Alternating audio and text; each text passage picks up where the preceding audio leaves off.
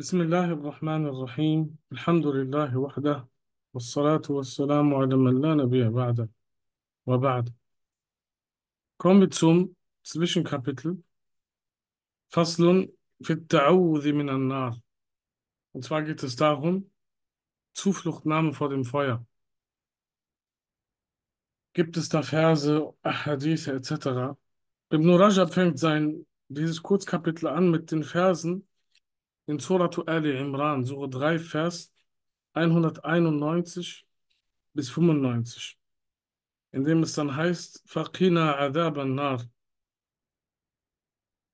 Also er sagt im Kontext von denen, die Allahs gedenken.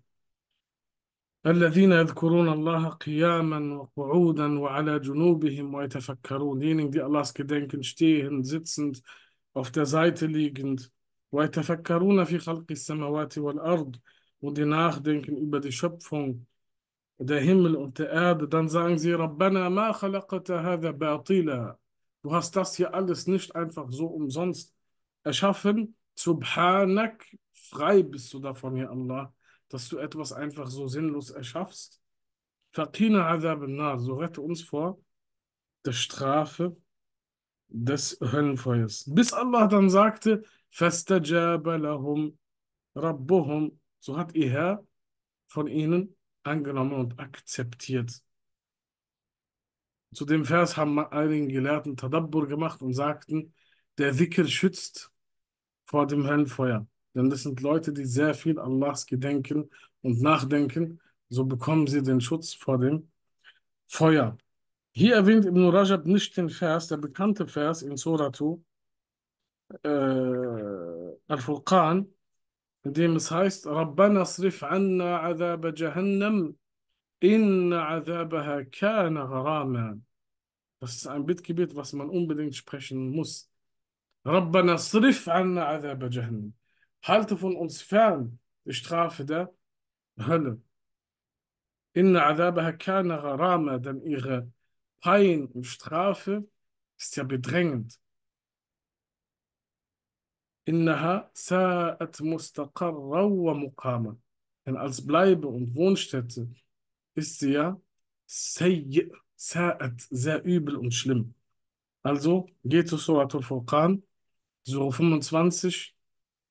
Es müsste auf der vorletzten Seite sein von Surah 25. Merke dir dieses Bittgebet.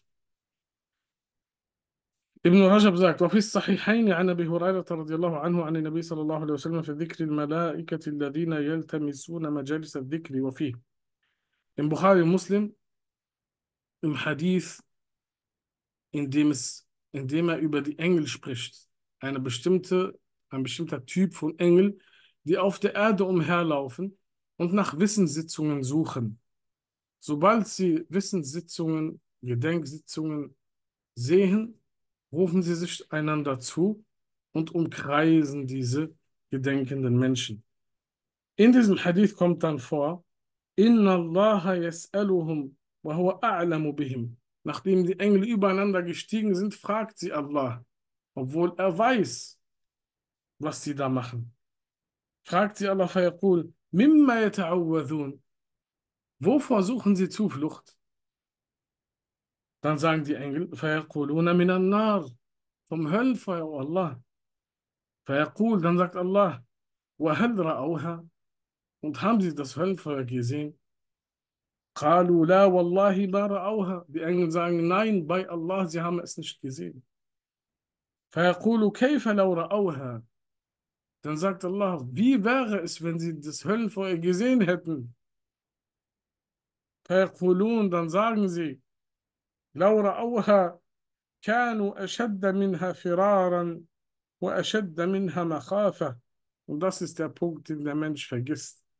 Wir vergessen Hölle und Paradies. Siehe dir den ersten Dars an. Und ich weiß nicht mehr, in der Playlist, erste, zweite, dritte am Anfang. Wir haben Hölle und Paradies vergessen. Schau mal, was er sagt. Was wäre, wenn sie das Höllenfeuer gesehen hätten? Du als Bruder, als Schwester würde es total anders praktizieren. Hier ist der Beweis. Er sagt, haben Sie es gesehen? Sagen, bei Allah, sie haben es nicht gesehen. Und was wäre, wenn sie es gesehen hätten? Laura Auha, schau mal, sie wären noch heftiger. Minha Firaran im Flüchten vor ihr.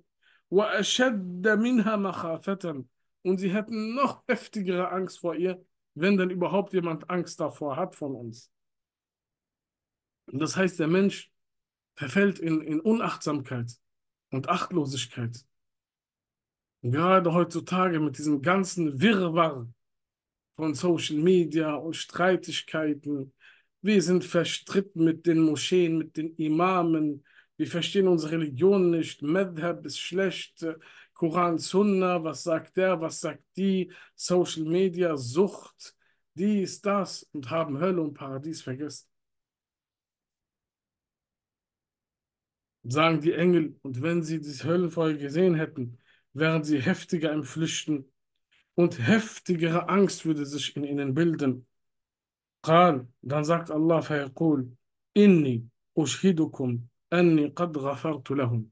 Ich nehme euch zu Zeugen, o Engel, dass ich ihnen vergeben habe.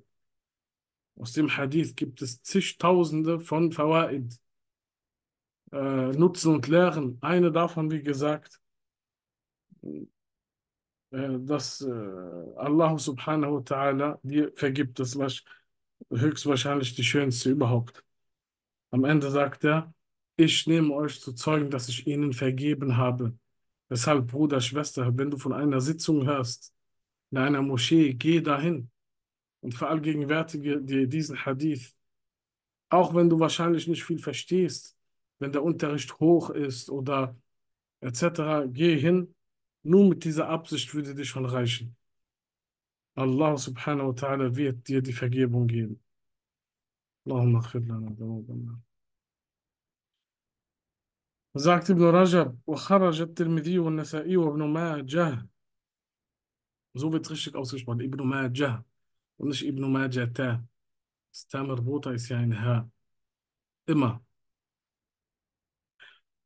من حديث أنس حديث أنس بن مالك عن النبي صلى الله عليه وسلم أنه قال ما من مسلم يسأل الله الجنة ثلاثا إلا قالت الجنة اللهم أدخله الجنة wunderschöner Hadith und zwar jeder Muslim der Allah bittet um das Paradies dreimal Allahumma inni as'aluka al-Jannah Allahumma inni as'aluka al-Jannah Allahumma inni as'aluka al-Jannah außer dass das Paradies sagen wird Allahumma adkhilhu al-Jannah. O Allah, lass ihn ins Paradies eintreten. ومن استج... ومن استجار من النار ثلاثا قالت النار Allahumma ajirhu minan nar.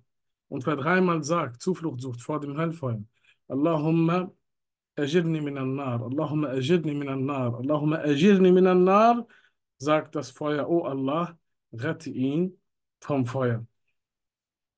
Leicht auf der Zunge, aber wir sind abgelenkt durch Social Media. Subhanallah. Wir haben Hölle und Paradies einfach mal vergessen. La tansaul azimatain hat mit der Belieferung. Vergisst nicht die zwei gewaltigen Großen. Die sind so gewaltig groß, trotzdem sind wir so jahil. Wir sind so unachtsam. Mit mir ein, ein, ein, natürlich mit ein äh, gerechnet. Wie oft erwischt man sich, dass man unachtsam war oder ist?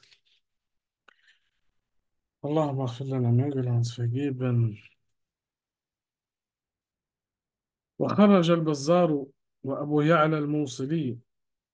البزار زي مسند من حديث أبي هريرة من حديث من أبو هريرة. عن النبي صلى الله عليه وسلم vom Propheten صلى الله عليه وسلم قال er sagte ما استجار عبد من النار سبع مرات إلا قالت النار يا رب إن عبدك فلانا استجار مني فأجره äh, wir haben in vorherigen Dars gesagt, dass Ibn Rajab ein Imam ist. Riesengroßer Imam der Hadith-Wissenschaft. Er hat Sunan und Tirmidhi in 20 Bändern erklärt. Leider haben wir das, hat es uns nie erreicht außer ein kleiner Teil von Kitabul Libas, Kapitel der Kleidung. Manche haben gesagt, er war Mutakhassis, spezialisiert auf Sunan, beziehungsweise Jami',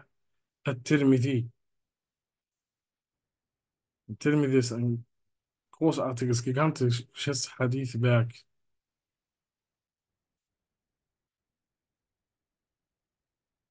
Genau. Äh, hier erwähnt er eine weitere Überlieferung, nur mit dem Wortlaut sieben. Davor hatten wir drei, hier haben wir sieben. Und zwar sagt, heißt es hier, wer siebenmal der Diener, wenn der Diener siebenmal Zuflucht sucht vor dem Feuer, sagt das Feuer, oh mein Herr, dein, dein, dein Diener hat Zuflucht vor mir gesucht, so gewähre ihm. ولا سأل عبد الجنة سبع مرات إلا قالت الجنة يا ربي إن عبدك فلانا سألني فأدخله الجنة. Und auch das Gleiche mit dem Paradies. Und kein Diener bittet um das Paradies siebenmal, außer dass das Paradies sagt, oh mein Herr, dein Diener, so und so, er hat nach dem Paradies gefragt, so, so, so gewähre ihm den Eintritt oder lasse ihn eintreten. Und von Anas ibn Malik, يقول الله انظروا في ديوان عبدي, einem Hadith, sagt Allah, schaut im Buch meines Dieners, فمن رأيتموه سألني الجنة أعطيته ومن استعاذ بي من النار أعذته Schaut in das Buch meines Dieners. Wenn ihr dann seht, sieht, dass er nach dem Paradies gefragt hat, gebe ich ihm. Und nach dem Höllenfeuer, vor dem Höllenfeuer Zuflucht gesucht hat, so werde ich ihm gewähren, Zuflucht gewähren.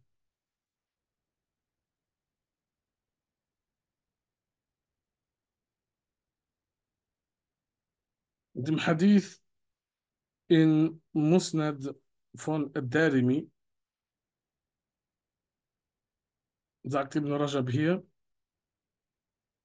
dass der Prophet sallallahu alaihi wasallam sagte, إذا كان يوم حار فإذا قال الرجل an einem heißen Tag, wenn der Mann bzw. Frau dann sagt, لا إله إلا الله ما أشد حر هذا اليوم لا إله إلا الله wie heiß ist doch dieser Tag Allahumma ajirni min harri Jahannam O Allah, rette mich vor der Hitze Jahannams und Jahannam hat Hitze. قل نار جهنم أشد حرا sagt Allah in Surah Tauba. Sag zu den Heuchlern, dass die äh, Hitze der Hölle noch heftiger ist, weil sie sich beschwert haben, ja, es ist so heiß, wir können nicht mit in den Feldzug ziehen, im Kampf. Sag ihnen, die Hitze Hölle, der Hölle ist noch heißer. قال الله لجهنم, wenn dieser Diener, Dienerin sagt, La ilaha illallah, wie heiß ist doch dieser Tag. O Allah, rette mich vor der Hitze Jahannam, sagt Allah zu Jahannam, Inna abdan min abidi stajarani min harrik. Ein Diener von meinen Dienern hat Zuflucht gesucht vor deiner Hitze. Wada ushhiduka, au ushhiduki, anni qad ajartuh. Ich nehme, ich nehme dich als Zeuge selbst, o Höllenfeuer, dass ich ihn, sie gerettet habe vom Höllenfeuer. وإذا كان يوم شديد البرد und wenn es ein eiskalter Tag ist فقال العبد dann der Diener sagt لا إله إلا الله ما أشد برد هذا اليوم wie heftig ist doch die Kälte dieses Tages Allahumma ajirni min zamhariri Jahannam O Allah rette mich vor dem Zemharir von Jahannam Zemharir hatten wir oder kommt noch ich denke, das kommt noch, ist die eisige Kälte, die die Knochen zerbricht, wie Glas. Man hört das Brechen der Knochen im Leib der Höllenbewohner. لا يرون فيها شمسا ولا زمهريرا, sagt Allah in Suratul Insan. Im Paradies werden sie weder Shamsan, Sonnenhitze, noch Zemherir, eisige Kälte, erleben müssen. Hier sagt der Diener, La ilaha illallah, was für ein heftiger, kalter Tag. O Allah, ich suche Zuflucht bei dir vor der Eiseskälte Jahannams. Ja, in Jahannam gibt es auch eisige Kälte, ein bestimmter Ort. قال الله قال الله لجهنم, da sagt Allah zu Jahannam, إن عبدا من عبادي استجارني من زمهريرك ein Diener von meinen Dienern hat Zuflucht gesucht vor deiner Eiseskälte. Wala ushhiduki anni qad ajartu. Und ich nehme dich zum Zeugen, dass ich ihn davor retten werde. Qalu wama zamhariru jahannam. Sie fragten die Gefährten, was ist Zamharir von Jahannam? Qal, genau hieß das. Was ist diese Zamharir? Qal, er sagte, Beitun, es ist ein Haus äh, in der Hölle. Yulqa fihi al-Kafir. Darin werden die Kuffar hineingeschmissen werden. فيتميز فيتميز من شدة بردها بعضه من بعض. Genau, ich habe hier geschrieben, weil das Buch hatte ich schon, schon mal gelesen. Ich habe hier geschrieben, äh, kommt noch auf Seite 203. Wir sind gerade mal bei 140. Das kommt noch vor ausführlich. Also er sagt, es ist ein Haus, in dem die, der Ungläubige hineingeschmissen wird. Dann wird er halt zerbrechen, sinngemäß, aufgrund der heftigen Kälte. Ba'duhum in Ba'd. Oder er fällt auseinander, Stück für Stück.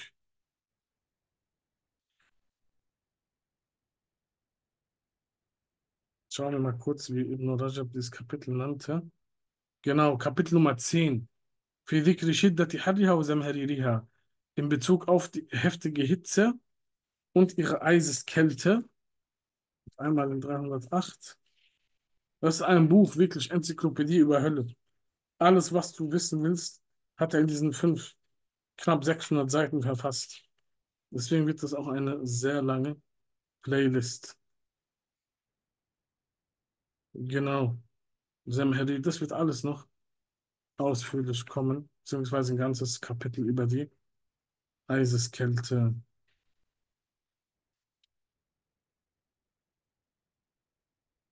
Gut. Dann kommen wir langsam zum Ende. Sagt Ibn Rajab hier,